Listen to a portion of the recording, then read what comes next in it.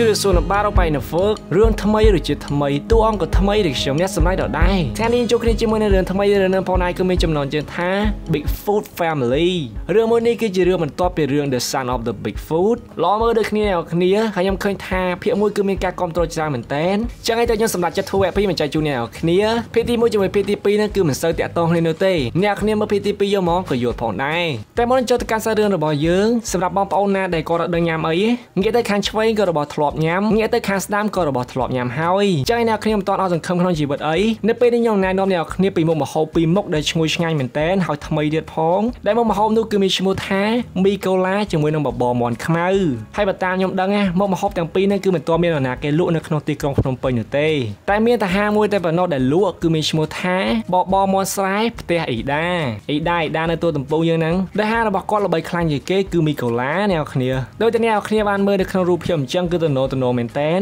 ដែលហាងរបស់គាត់គឺមានទីតាំងនៅជិតស្តុបផ្សារទូតំពូហើយចុងភៅគឺមានបទពិសោធន៍យូរឆ្នាំមិនមែន1ឆ្នាំ5ឆ្នាំឬក៏10ឆ្នាំនោះទេតែ20ឆ្នាំឯណោះដែលកាលពីមុនគឺហាងរបស់គាត់បើកនៅតាមខេត្តណាតែពេលនេះគឺបានបដូរមកនៅទីក្រុងភ្នំពេញវិញបានរយៈពេល2ឆ្នាំហើយក៏មានមកច្រើនផងដែរហើយមួយទៀតដែលខ្ញុំចូលចិត្តខ្លាំងជាងគេនោះគឺម្ហូបនៅក្នុងហាងហ្នឹងគឺតម្លៃសមរម្យទេអ្នកគ្នាបបរមុនខ្មៅមួយចានតម្លៃត្រឹមតែ16000រៀលតែប៉ុណ្ណោះឯស៊ុបមាន់ខ្មៅមួយឈុតតម្លៃត្រឹមតែ25000រៀលតែប៉ុណ្ណោះញ៉ាំឆ្អែត2នាក់ឯបបរមាន់ស្រែសុទ្ធមួយចានវិញតម្លៃត្រឹមតែ12000តែប៉ុណ្ណោះឆ្ងាញ់ឆ្ងាញ់តែម្ដងនៅអ្នកគ្នាមានប៉ុណ្្នឹងទេបើសិនអ្នកគ្នាចាប់អារម្មណ៍អាចតាក់ទងទៅកាន់ page របស់គាត់បានឬទៅអ្នកទំនងទៅតាមលេខទូរស័ព្ទក៏បានផងដែរចាំខ្ញុំដាក់លេខនៅក្នុង description ជាមួយនឹង comment section នឹងខ្ញុំមានតែប៉ុណ្្នឹងទេយើងចូលទៅកាន់សាររឿងរបស់យើងតែម្ដងទៅណាបាទចាប់ដល់រឿងដំបូងជាមួយនឹងអាដើមអាដើមបាននិយាយថាកាត់មកមានមុខច្រើនចង់លៀនមុខដែរអ្វីក៏មិនសំខាន់តែយើងកាត់មកមានមុខតែមួយ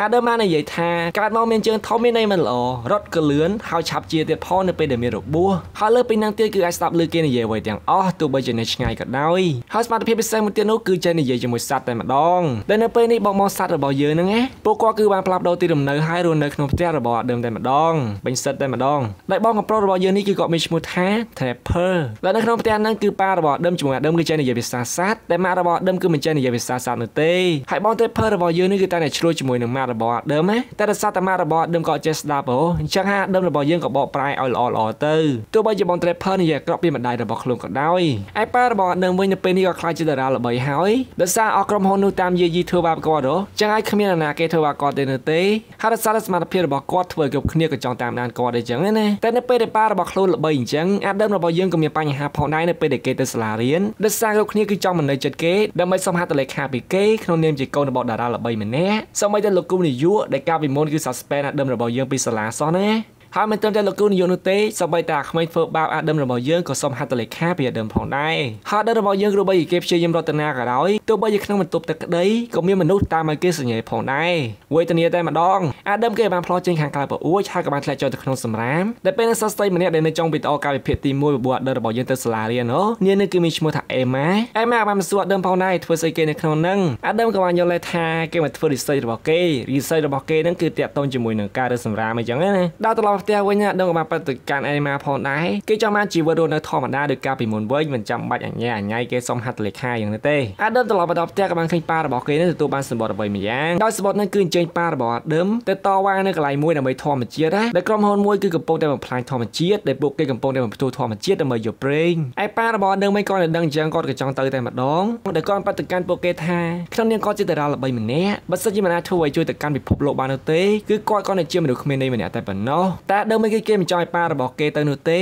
ដោយសារប៉ារបស់គេទៅតែនៅរួមរស់ជាមួយគ្រួសារបានប្រមាណរយៈតែប៉ុណ្ណោះតែនៅពេលនេះគេចង់ចេញពីគ្រួសារទៀតទៅហើយហើយអត់ដឹងបានបាត់ទៅកាន់ប៉ារបស់ខ្លួនផងដែរថាប៉ាតែម្នាក់មិនអាចផ្លាស់ប្ដូរពិភពលោកបានទេនិយាយដោយហាដឹងរបស់យើងក៏បានឡើងទៅសម្រាប់តែម្ដងយប់ឡើងប៉ារបស់ដឹងមិនចង់ទៅនិយាយលេងជាមួយកូនផងដែរតែដឹងគេមិនចង់និយាយជាមួយប៉ារបស់គេនោះទេក៏បានធ្វើជាគេងទៅឡើងក៏បានមកដល់ប៉ារបស់ដឹងក៏បានសម្រេចចិត្តទៅកន្លែងនឹងពិតមែនហើយអ្នកបើកយន្តហោះរបស់ប៉ាដើមនឹងគឺកោមែនទេបើកឡើងប៉ារបស់ដើមក្អួតតែម្ដងប៉ាដើមមកដល់កន្លែងនឹងហើយក៏បានថតជា vlog អីចឹងទៅដើម្បីផ្សព្វផ្សាយទៅកាន់ fan របស់គាត់បើកំពុងតែថតនឹងពេលនោះក៏មានក្តានមួយក្បាលអាក្តានមួយនឹងគឺមាន friendly ជាមួយនឹងប៉ាដើមនោះទេដែលប៉ារបស់ដើមព្យាយាមនិយាយលេងជាមួយវាចឹងណាជម្រាបសួរបាទខ្ញុំប៉ាដើមណា fuck តែក្តានមួយក្បាលនឹងវាស្ដាប់មានចូលទៅជាវាណាវាក៏បានដេញចូលប៉ាដើមតែម្ដងធ្វើឲ្យគ្នានៅរត់ឡើងដើមឈើផងឲ្យផង ហហើយនៅពេលនេះប៉ារបស់ដើមក៏បានមកដល់កន្លែងតវ៉ាហើយគឺមានតែ2នាក់តែប៉ុណ្ណោះពេលនោះក៏មានបរិម្នាក់ដែលគាត់មានឈ្មោះថា Arrow គាត់បានថាគាត់កើតនៅទីនេះរស់នៅទីនេះតែម្ដងចឹងហើយគាត់មកទីនេះក៏ដើម្បីតវ៉ាសម្រាប់ទឹកដីរបស់គាត់ផងដែរប៉ារបស់ដើមតែតែថតអីចឹងណាដើម្បីបង្ហោះទៅកាន់ fan របស់គាត់តែស្នាដៃ edit វីដេអូរបស់គាត់នឹងគឺកាកមែនទែននៅពេលដែលផុសទៅបានត្រឹមតែ14 view វើតែប៉ុណ្ណោះអាដើមមើលប៉ារបស់ខ្លួន edit ហើយគឺហួសចិត្តទៅគេជាមួយនឹង Trapper បានគេគ្នាថានឹងជួយប៉ារបស់ដើមចឹងណាអាដើមក៏បានព្យាយាមអង្គុយ edit វីដេអូប៉ារបស់ខ្លួនអស់មួយយប់ហើយទៅពេលនេះគឺអេមជាងមុនអេមតែម្ដងហើយគាត់តែអាដើមផុសភ្លាមយើងបានឃើញថាមានចំនួនអ្នកចូលរួមទស្សនាគួរជាទីកត់សម្គាល់ឯប៉ារបស់ដើមវិញក្រោកឡើងក៏ក៏បានឃើញថាលែងមាន2អ្នកទៀតហើយគឺថាមនុស្សច្រើនមែនតើគាត់ក៏បានសួរទៅកាន់អារ៉ូផុសណៃថាមានរឿងអ្វីកើតឡើងអារ៉ូបានប្រាប់ថាវីដេអូអបអីផ្ទុះហើយផ្ទុះបឹងបឹងពេញអ៊ីនធឺណិតផ្ទុះឡើងដល់ព័ត៌មានក្តៅក្តៅតែម្ដងដែលមានគេបានសម្ភាសប៉ារបស់ដើមផុសណៃប៉ារបស់ដើមក៏បានប្រាប់តាមនឹងទៅថាគាត់មកនេះគឺដើម្បីតវ៉ាសម្រាប់បរិស្ថានសម្រាប់ធម្មជាតិរបស់គាត់ដែលខាងទូរទស្សន៍គឺមិនស្ដាប់តែម្ខាងនោះទេខាងទូរទស្សន៍ក៏បានសម្ភាសម្ចាស់ក្រុមហ៊ុននឹងផងដែរម្ចាស់ក្រុមហ៊ុននឹងក៏បានសួរទៅកាន់ពិធីករតែម្ដងតើលោកមកធ្វើការថ្ងៃនេះគឺជាឡានមែនទេពិធីករម្នាក់ហ្នឹងក៏បានប្រាប់ថាបាទមែនហើយហ្នឹងហើយគឺជាអ្វីខ្ញុំចង់និយាយមនុស្សគ្រប់គ្នាគឺត្រូវការប្រេងចឹងហើយនៅពេលនេះខ្ញុំគ្រាន់តែយកប្រេងធម្មជាតិប្រេងឆៅប្រេងដែលចម្រោះបានល្អសម្រាប់ឲ្យអ្នកគ្នាប្រើប្រាស់តែប៉ុណ្ណោះតើវាខុសអីគេហើយខ្ញុំធានាតែម្ដងគឺមិនឲ្យប៉ះពាល់ដល់បរិស្ថាននោះទេខ្ញុំធ្វើខ្ញុំមាន plan ខ្ញុំគិតច្បាស់លាស់ខ្ញុំក៏ជាមនុស្សស្រឡាញ់បរិស្ថានម្នាក់ផងដែរថាមិនត្រូវស្រឡាញ់ជាអ្នកទាំងអស់គ្នាទៀតណោះអេនិយាយមកស្អាតតែម្ដងយប់ឡើងក៏បានមកដល់ប៉ារបស់ដើមក៏បានឆ្លោះទៅមើលខាងឆ្លោះស្ពាននឹងផងដែរដែលក៏បានសួរទៅកាន់អារ៉ូថាតើធ្លាប់ទៅដល់កន្លែងហ្នឹងឬអត់ព្រោះថាបើសិនឆ្លោះស្ពាននឹងផុតពួកគេប្រហែលជាអាចរកបានភ័ស្តុតាងមួយចំនួនតែតើជាមួយនឹងការបំផ្លាញបរិស្ថានរបស់ក្រុមហ៊ុនហ្នឹងតែអាស្រោនបដកម្មប៉ារបស់ដើមវិញថាវាមិនងាយទៅនោះទេដោយសារនៅលើស្ពានហ្នឹងគឺមានមនុស្សយាមផងដែរតែប៉ារបស់ដើមមិនខ្វល់នោះទេជប់ឡើងនៅពេលដែលគេគេលក់អស់គាត់ក៏បានទៅនឹងតែម្ដងដែលអាស្រោនៅពេលហ្នឹងគេដឹងថាប៉ារបស់ដើមលក់ចេញទៅផងដែរ ប៉ារបស់ដឹងក៏បានលុតផ្លោតផ្លោតអីចឹងណាកិច្ចកាមេរ៉ាសារភាពផងឲ្យផងហើយគ្មាននរណាគេចាប់គាត់បាននៅទេដោយសារគាត់លឿនណាប៉ារបស់ដឹងបានរត់មួយសន្ទុះហើយគាត់ក៏បានផ្ទៀងស្ដាប់ ហើយនៅពេលដែលគាត់រត់ទៅដល់កន្លែងហ្នឹងទៅក៏បានឃើញថាដឹងឃើញស្អីនោះទេរឿងអត់បង្ហាញយើងផងតែគាត់នៅដឹងថានៅពេលហ្នឹងគឺមានអ្វីយ៉ាងនៅខាងក្រៅគាត់អាដើមរបស់យើងវិញក្រោកឡើងគេបានទៅមើលវីដេអូថ្មីថ្មីរបស់ប៉ាគេផងដែរតែមិនបានឃើញនោះទេនៅថ្ងៃនេះសតតែទៅមើលទូរទស្សន៍ក៏បានឃើញថាខាងទូរទស្សន៍ចាក់ផ្សាយថាប៉ារបស់ដើមនឹងគឺបានបាត់ខ្លួនបាត់ទៅហើយប៉ារ៉ូនឹងក៏បានបដកម្មអ្នកទស្សនាផងដែរថាយំមិញក៏បានឃើញប៉ារបស់ដើមលុចចូលទៅក្នុងតំបន់ហាមឃាត់តែម្នាក់ឯងហើយសតតែព្រឹកឡើងក៏បានបាត់ខ្លួនតែម្ដងឯខាងដើមវិញពួកគេមិនចាំនឹងទេ ពួកគេក៏បានរៀបចំខ្លួនចេញទៅតែម្ដងដែលទៅនឹងគឺមានតែ4នាក់តែប៉ុណ្ណោះគឺម៉ារបស់ដើមអាចដើមបោកខ្លាឃ្មុំជាមួយនឹង Trapper ព្រោះតែទៅគ្នាច្រើនអាការទេថាខ្លាចប៉ូលីសចាប់ហ៎ពួកគេបានធ្វើដំណើរអញ្ចឹងណាលេងជាមួយគ្នាគេជាមួយគ្នាហើយនៅពេលដល់កន្លែងឆៃឆេនឹងបងខ្លាខ្លុំជាមួយនឹងបង Trapper នឹងក៏បានលាក់ខ្លួនអញ្ចឹងទៅដោយបើកកាត់យប់កាត់ថ្ងៃអស់រយៈពេលប្រហែលថ្ងៃនៅពេលនេះគឺពួកគេបានមកដល់កន្លែងនឹងហើយតែសត្វទៅពេលនោះឡានរបស់ពួកគេក៏បានចុះផងអារ៉ូគេបានមកដល់កន្លែងនឹងផងដែរដោយម៉ាដើមក៏បានចំណាំអារ៉ូរបស់យើងផងដែរដោយសារគេសម្ភារពីទូរទស្សន៍ថ្ងៃមុននោះទៅក៏បានយល់ព្រមទៅជាមួយនឹងអារ៉ូដែលអារ៉ូប្រាប់ថាគេនាំម៉ារបស់ដើមទៅកន្លែងតវ៉ាអញ្ចឹងណាអាម៉ារបស់ដើមវិញក៏បានបដកម្មកូនផងដែរថែកំទៅណាញ៉ៃញ៉ៃចាំនឹងហើយទីទៀតគាត់មកវិញពួកគេរបស់អ្នកក៏បាននៅនឹងអញ្ចឹងទៅលេងហ្គេមបណ្ដាចាំបណ្ដើអញ្ចឹងទៅចាំយូរទៅកាន់តែយូរទៅមិនឃើញម៉ាក់ដើមមកវិញនោះទេទៅបើដើមគេចង់ទៅរកម៉ាក់របស់គេដោយសារគេមានអារម្មណ៍មិនស្រួលសត្វទៅពេលនោះមិនដឹងជានរណាគេនោះទេនៅពូកេម៉ុននឹងគឺមានកាញ់កំភ្លើងបាញ់ថ្នាំស្ពឹកផងដែរមកដល់មកបដកម្មណាដើមថាបើធ្វើចេញមកម៉ាក់របស់ឯងបញ្ជូនយើងឲ្យមកយកពួកឯងតែដើមនឹងច្បាស់ណាស់ថាពូគេនឹងគឺបោកតែប៉ុណ្ណោះដោយសារម៉ាក់របស់គេគឺមិនដែលស្គាល់ណាគេនៅទេនៅទីនេះទើបបងខ្លាខ្មោចរបស់យើងក៏បានទៅវាបហាពួកគេតែដោយសារគ្នាគេច្រើនគឺបងទាំងពីររបស់យើងទប់មិនជាប់នោះទេបងខ្លាខ្មោចក៏បានពាក់លីដើម្បីឲ្យដើមរត់ចេញអញ្ចឹងណាក៏សូចចិត្តត្រូវតាមស្ពឹកអាដើមគេបានព្យាយាមរត់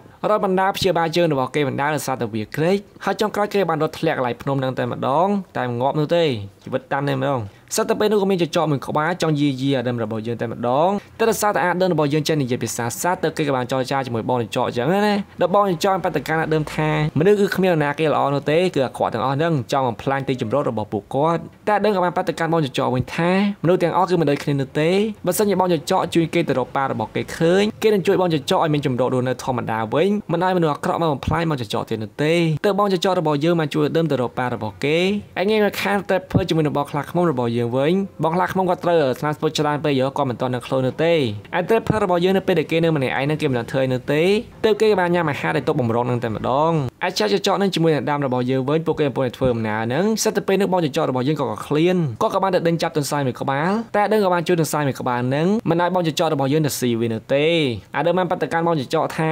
ស៊ីបួខ្លះទៅណាកុំស៊ីតែសัตว์ពេកគ្នាក៏ចង់រស់ផងដែរបងចចក៏បានជួយដើមមកដល់កន្លែងហ្នឹងហើយដើមមកដល់កន្លែងហ្នឹងដើមក៏បានឃើញថាពួកគេហ្នឹងគឺដាក់គ្រាប់បាយបំផ្ទុះដើម្បីបានប្រេងហ្នឹងណា អានដើមរបស់យើងក៏បានលួចចូលពីមើលកន្លែងទៅមើលកន្លែងហើយគេក៏បានលួចសម្លៀកបំពាក់របស់បុគ្គលិកនៅទីនោះស្លៀកពាក់ផងដែរដល់ដើមគេបានស្ដាប់ឮម្ចាស់ក្រុមហ៊ុនហ្នឹងនិយាយជាមួយនឹងកូនចៅរបស់គាត់ផងដែរថាបន្តិចទៀតហ្នឹងគឺពួកគេដាក់ក្របបែកមួយឬបែកធំមែនតើដែលក្របបែកហ្នឹងគឺមានឈ្មោះថា BD 416ដល់ក្របបែកហ្នឹងគឺផ្ទុះខ្លាំងណាស់ អាដឺរបស់យើងក៏បានថតបានគ្រប់យ៉ាងផងដែរបន្ទាប់ពីហ្នឹងអាដឺក៏បានរកប៉ារបស់គេនៅចិត្តចិត្តហ្នឹងសត្វទៅពេលនោះគេក៏បានជួបជាមួយនឹង Arrow Arrow បដិការនៅដើមថាបើសិនជាគេដើរឡើងទៅលើហ្នឹងគឺមានអ្នកយាមណាចឹងហើយដើរមកតាមគាត់មកគាត់នាំទៅកន្លែងសុវត្ថិភាពតែសត្វទៅពេលហ្នឹងអាប៉ែ Arrow ហ្នឹងក៏បានដាក់ខ្នោតដែរដើមរបស់យើងតែម្ដងក៏ពិតតែអាប៉ែហ្នឹងគឺជាគ្នាគ្នារបស់ម្ចាស់ក្រុមហ៊ុនហ្នឹងទេអាកែមកខាង Montrapper របស់យើងវិញនៅពេលនេះអាហារតែប្រមាណនេះគាត់បានញ៉ាំអស់ទៅហើយឡំប៉ោពុកកហេងហេងហ្នឹងបងខ្លះខ្មោចរបស់យើងងើបឡើងគឺគ្មានអ្វីញ៉ាំនោះទេទៅគាត់ក៏បានបបួល Trapper ជីឡានហ្នឹងចូលទៅក្នុងតែម្ដងទៅមិនបាច់ចាំម៉ាក់របស់អាដើមអាដើមអីទេនោះទេ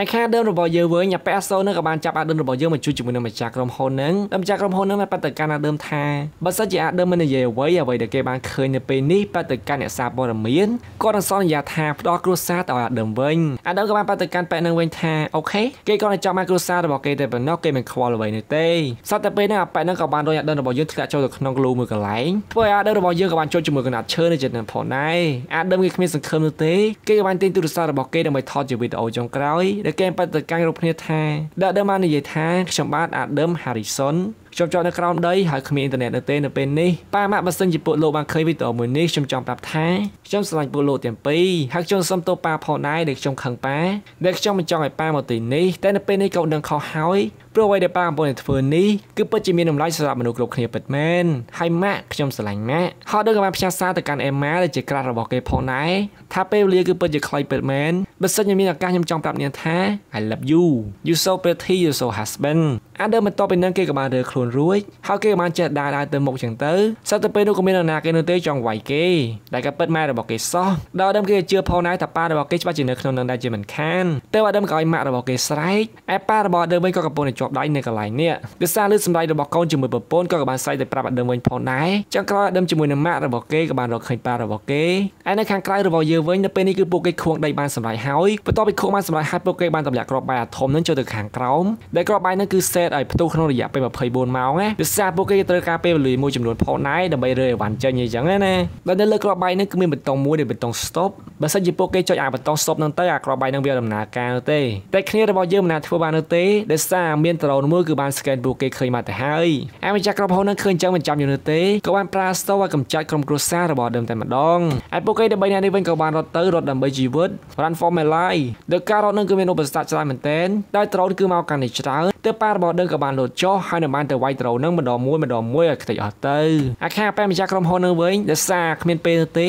គាត់ក៏បានសេះអាក្របបាយនឹងដាក់ទៅនៅរយៈពេល10នាទីទៀតតែប៉ុណ្ណោះ10នាទីទៀតផ្ទុះហ่ะឈប់24ម៉ោងហើយអាដើរបស់យើងវិញនៅពេលដែលចេញមកខាងក្រៅនឹងគេក៏បានផុសវីដេអូនឹងផងដែរអាវីដេអូដែលគេ record ពីម្ចាស់ក្រុមហ៊ុននឹងនិយាយពីគម្រោងដាក់ក្របបាយយោតែផុសមិនទាន់បានសម្រេចផុសសត្វតែផ្លូវខាងមុខរបស់ពួកគេក៏បានដាច់ទៅធ្វើឲ្យពួកគេធ្លាក់ចូលទៅក្នុងទឹកហើយទូរស័ព្ទរបស់ដើមក៏បានធ្លាក់ចូលទៅក្នុងទឹកផងដែរប៉ារបស់ដើមក៏បានជួយឲ្យដើមហើយនឹងជួយប្រពន្ធរបស់គាត់ដែលប៉ារបស់ដើមបដិការដើមឲ្យរត់ទៅកន្លែងក្របបាយនឹងទៅហើយចុចអាប៊ូតុង stop នឹងទៅឲ្យវាឈប់ណាដោយសារគាត់ជាមួយប្រពន្ធរបស់គាត់គឺនៅខាងក្រោមចឹងហើយរត់ទៅមិនតនោះទេមានតែអាដើមតែប៉ុណ្ណោះអាដើមរត់យកមែនតែតែម្ដង ហើយពេលនេះគឺសល់រយៈពេលខ្លីមែនតែន3 2 1បឹង